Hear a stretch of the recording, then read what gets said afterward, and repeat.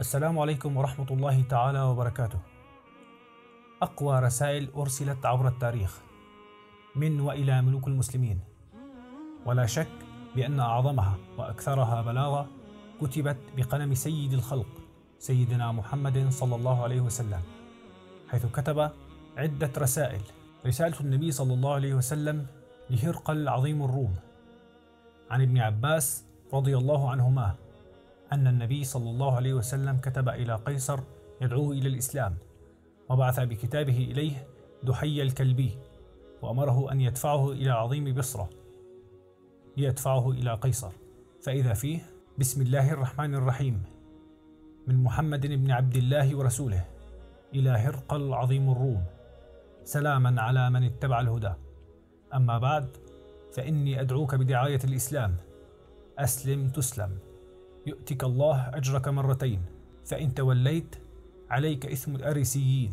وكتب آية من سورة آل عمران. بسم الله الرحمن الرحيم. قل يا أهل الكتاب تعالوا إلى كلمة سواء بيننا وبينكم ألا نعبد إلا الله ولا نشرك به شيئا ولا يتخذ بعضنا بعضا أربابا من دون الله. فإن تولوا فقولوا اشهدوا بأننا مسلمون. وأما عن الرسالة الثانية كتب النبي صلى الله عليه وسلم إلى النجاشي ملك الحبشة. ذكر الواقدي أن رسول الله صلى الله عليه وسلم كتب إلى النجاشي كتابا وأرسله مع عمرو بن أمية الضمري. فيه بسم الله الرحمن الرحيم من محمد رسول الله إلى النجاشي ملك الحبشة. أسلم أنت فإني أحمد إليك الله الذي لا إله إلا هو الملك القدوس السلام المؤمن المهيمن. وأشهد أن عيسى ابن مريم روح الله وكلمته ألقاها إلى مريم البتول فحملت به فخلقه من روحه ونفخه كما خلق آدم بيده. وإني أدعوك إلى الله وحده لا شريك له والموالاة على طاعته وأن تتبعني وتؤمن بالذي جاءني. فإني رسول الله وإني أدعوك وجنودك إلى الله عز وجل. وقد بلغت ونصحت فاقبلوا نصيحتي والسلام على من اتبع الهدى. وأما عن الرسالة الثالثة كتاب النبي صلى الله عليه وسلم إلى المقوقس ملك مصر. ذكر الواقدي أن النبي صلى الله عليه وسلم كتب إلى المقوقس مع حاطب بن أبي بلتعة. بسم الله الرحمن الرحيم. من محمد بن عبد الله إلى المقوقس عظيم القبط سلاما على من اتبع الهدى. أما بعد فإني أدعوك بداعية الإسلام.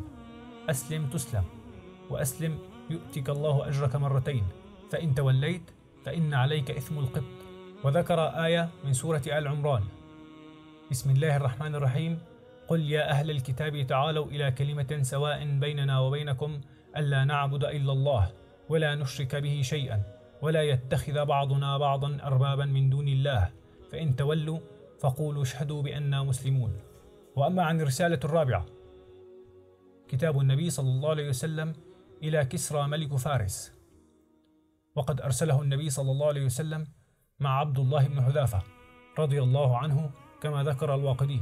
وكان فيه بسم الله الرحمن الرحيم من محمد رسول الله إلى كسرى عظيم فارس سلاما على من اتبع الهدى وآمن بالله ورسوله وشهد أن لا إله إلا الله وحده لا شريك له وأن محمدا عبده ورسوله.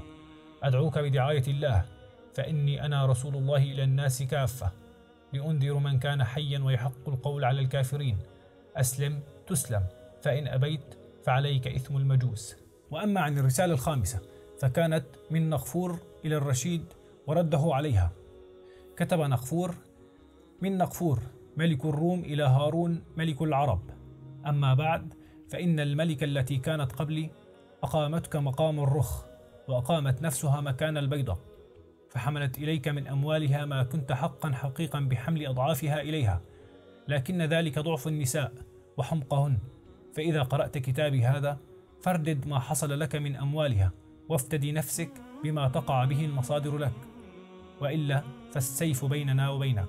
فلما قرأ الرشيد الكتاب استفزه الغضب حتى لم يقدر أحد أن ينظر إليه دون أن يخاطبه وتفرق جلساؤه فدعا بدوات وكتب على ظهر الكتاب. بسم الله الرحمن الرحيم. من هارون أمير المؤمنين إلى نقفور كلب الروم. قد قرأت كتابك يا ابن الكافرة. والجواب ما تراه دون ما تسمعه والسلام. وخرج هارون بنفسه في سنة 187 هجري حتى وصل هرقلة وهي مدينة بالقرب من القسطنطينية. واضطر نقفور إلى الصلح والموادعة وحمل مال الجزية إلى الخليفة كما كانت تفعل إيريني من قبل.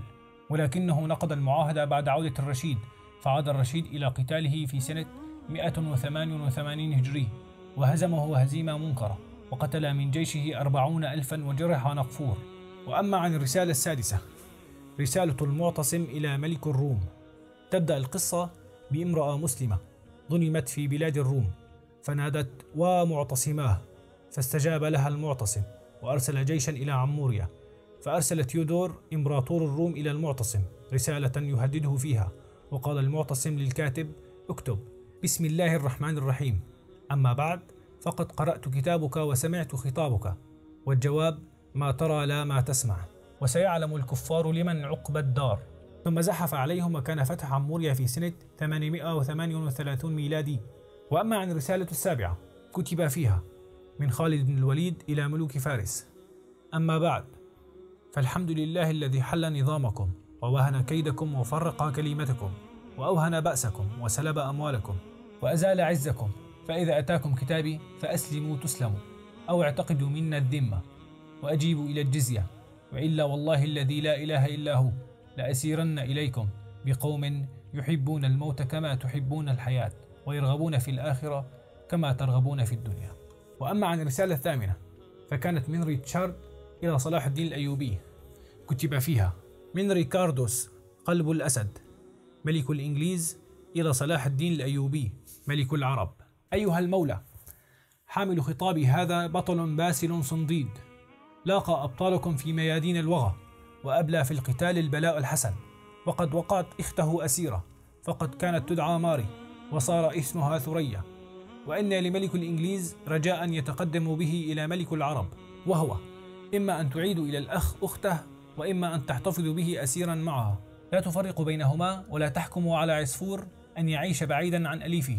وفيما أنا بانتظار قراركم بهذا الشأن أذكركم بقول الخليفة عمرو بن الخطاب وقد سمعته من صديق الأمير حارث وهو متى استعبدتم الناس وقد ولدتهم أمهم أحرارا؟ فرد عليه صلاح الدين على رسالة ريتشارد. قائلا من السلطان صلاح الدين الأيوبي إلى ريكاردوس ملك الإنجليز. أيها الملك صافحت البطل الباسل الذي أوفدتموه رسولا إليه. فليحمل إليكم المصافحة ممن عرف قدركم في ميادين الكفاح.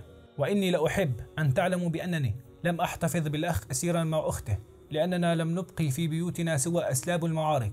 لقد أعدنا للأخ أخته. وإذا ما عمل صلاح الدين بقول عمرو بن الخطاب فلكي يعمل ريكاردوس بقول عندكم. أعطوا ما لقيصر لقيصر وما لله لله. فرد أيها الملك الأرض التي اغتصبتها إلى أصحابها عملا بوصية السيد المسيح عليه السلام. وأما عن الرسالة التاسعة بعث جورج الثاني ملك إنجلترا والنرويج والسويد برسالة إلى السلطان الأموي هشام الثالث في الأندلس جاء فيها. إلى صاحب العظمة خليفة المسلمين هشام الثالث الجليل المقام من جورج الثاني ملك إنجلترا والنرويج والسويد.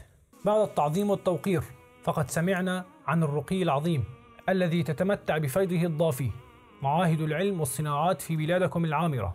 فأردنا لأبنائنا اقتباس نماذج من هذه الفضائل لتكون بداية حسنة لاقتفاء أثركم لنشر العلم في بلادنا التي يحيط بها الجهل من أركانها الأربعة وقد وضعنا ابنة شقيقنا الأميرة دوبانت على رأس بعثة من بنات الأشراف الإنجليز لتتشرف بلثم أهداب العرش والتماس العطف وتكون مع زميلاتها موضع عناية عظمتكم.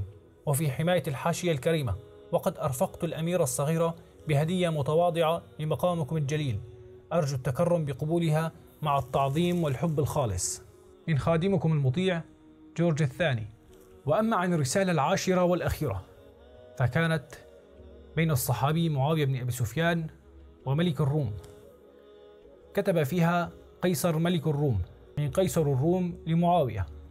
علمنا بما وقع بينكم وبين علي بن أبي طالب وإنا لنرى أنكم أحق منه بالخلافة. فلو أمرتني أرسلت لك جيشا يأتون إليك برأس علي. فرد معاوية على هرقل قائلا أخان وتشاجرا فما بالك تدخل بينهما؟ إن لم تخرس أرسلت إليك بجيش أوله عندك وآخره عندي. يأتوني برأسك أقدمه لعلي.